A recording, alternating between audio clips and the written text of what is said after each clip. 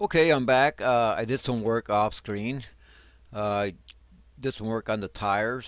Went ahead and finished this tire up, and this did this tire as well.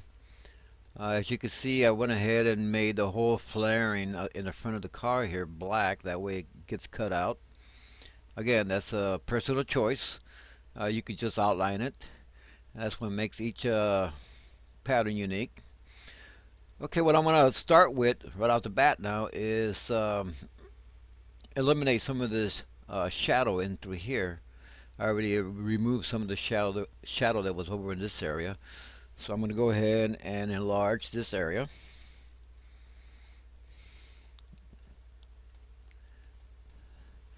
And scroll down here to the shadow. Alright, I'm going to get this out of the way. Alright, now I'm going to change my opacity so I can see what's going on in the color section here.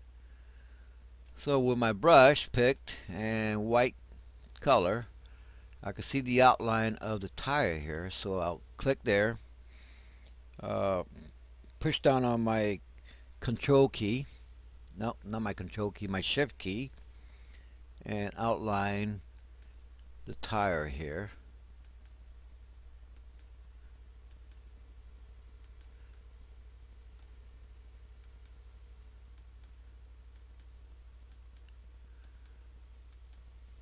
Like so. Okay, change the opacity again, see what's happened here. Okay, you can see there that I have an outline. Now I gotta come, all I gotta do now is come back and remove the rest of the black here. Like so. I'm gonna go ahead and enlarge this uh, brush.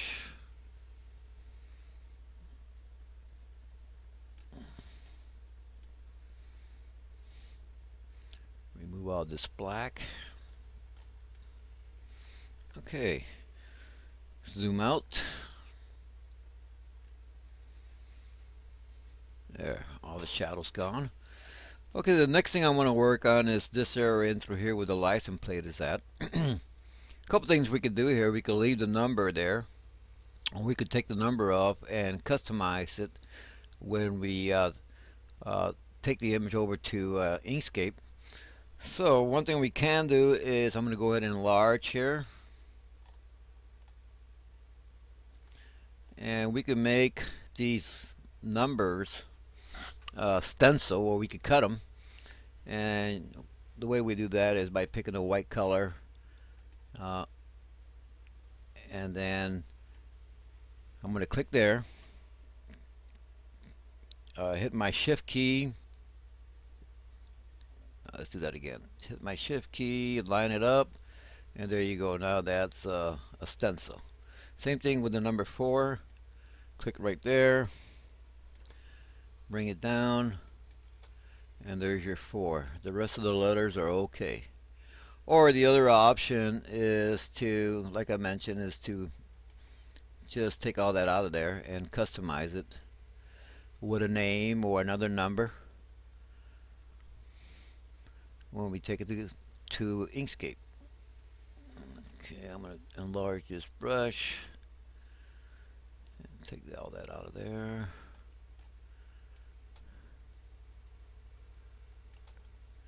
I'm also gonna let's see what else do we have in here. Okay, ah, there's the Great Britain symbol. Okay, so I'm going to go ahead and zoom out. See what we got what we got going.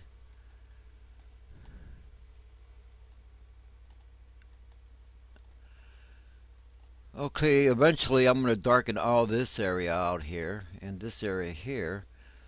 So that means that we're going to have to come in here with a bridge all the way across so we could get some wood in here. So the best way to do that is go ahead and click here with the white again. Uh, hit your shift key go in that direction shift key go in that direction and here we have some uh, some uh, blaring from the sun as you can see there So I'm going to zoom in in that area.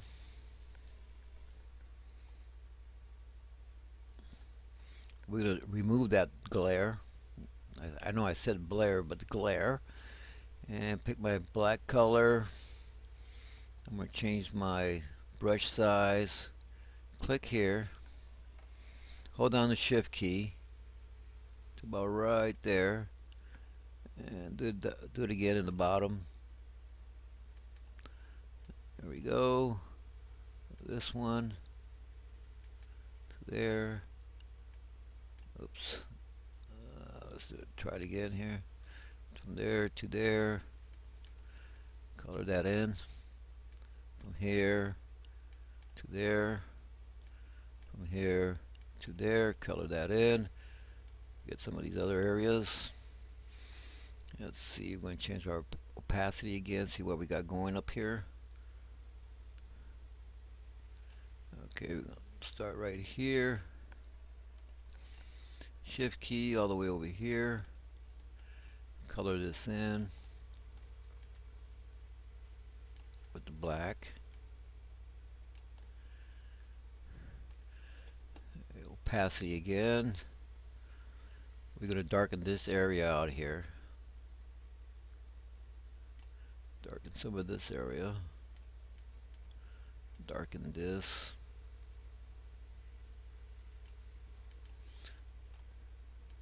Okay, now we need to uh, create some bridges here so we can get into into these area with some wood. And I'll work on the other side off screen. So I'm going to make this uh, brush a little bit smaller. Maybe about, oops, got to change my color here. And click on my mouse and bring it all the way out. It looks kind of funny, but you gotta have them there. There we go. Okay. I'm going to zoom out again. There we go. Okay, and now we're going to take out some of this background uh, black that we don't need back here. Let's pick a good size brush.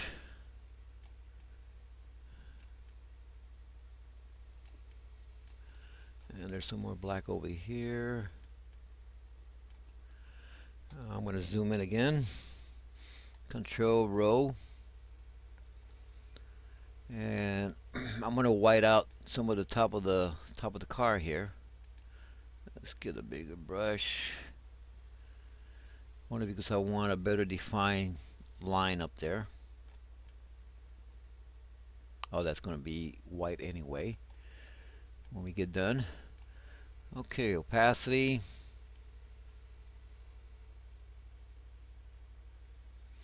I'm going to pick this brush here, select black, and start right here. Hold out my shift key and try to follow that outline.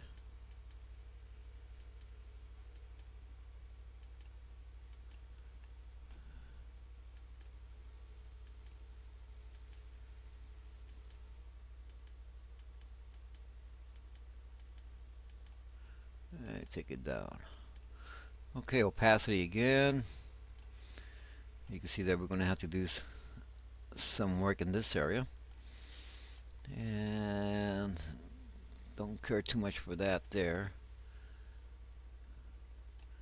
So let's go ahead and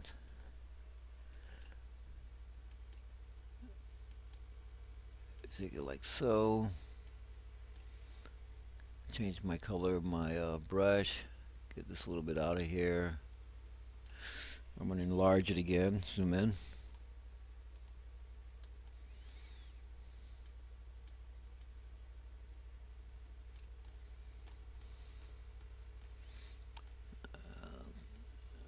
okay, and I'll work on this down here off screen. Okay, the next thing I want to show you is uh, is I'm going to convert this into a JPEG and take it over to uh, uh, Inkscape and see how it's coming along. So the first thing I'm going to do is going to come up here to File, uh, Save As, and I have already saved it as Cooper as a uh, GIMP file, XCF. So I'm going to come down here and click on Select File Type, scroll down to JPEG, click Save, Export. Uh, it's at 85% quality. I'm going to put it at 100%. Click Save, and there we go. I'm going to go back and save it again as a GIMP image file. Save. Replace. There we go. Okay, now I'm going to open up uh, Inkscape. Here's Inkscape. Come over to File. Click on Import. Uh, there it is, Cooper. JPEG. Click on that. Come down here to Open. Uh, this window pops up click o uh, OK and it should come up here and there it is uh, I'm going to zoom in a little bit here okay make sure it's selected it is come up here to path uh, click on trace bitmap this window pops up click OK just takes a few seconds. There it goes. Now we should have two images here. I'm going to zoom out a little bit. Come on. Okay, so which is the bitmap? Another way is transparent. This one is not transparent. If you look at the page behind it, and we scroll this uh, uh, in front of it, you can see that it's not transparent. This one you scroll, uh, you drag it over the page and you can see it, that it is transparent. Transparent. So that is the bitmap we want. Click on this one. We're going to go ahead and delete it. And let's take a look at what's going on here.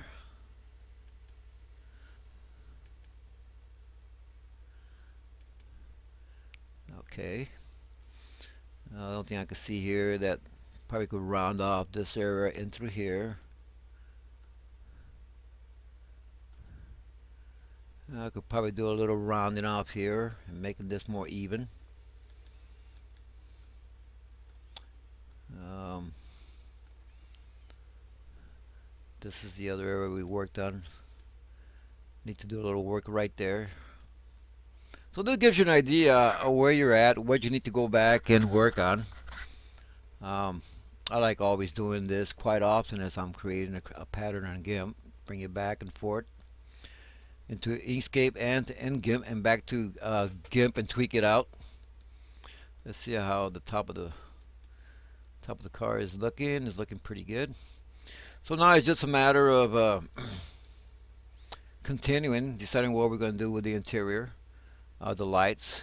Um, over here we have plenty of uh, uh, bridges so we could have some wood oops have some wood come in into this bottom area so as I said we got to have plenty of uh, good sized bridges to come in here to cover all this area in here. Another thing that I'm gonna have to deal with is this grill here whether we want to detail it out or just black it out. And again putting bridges in the lights bridges in the lights and touching it up. Okay, I'm at 14 minutes. Okay, um, I'm going to be working uh, off screen and most likely I'll come back with a finished product on GIMP. Okay, see you then.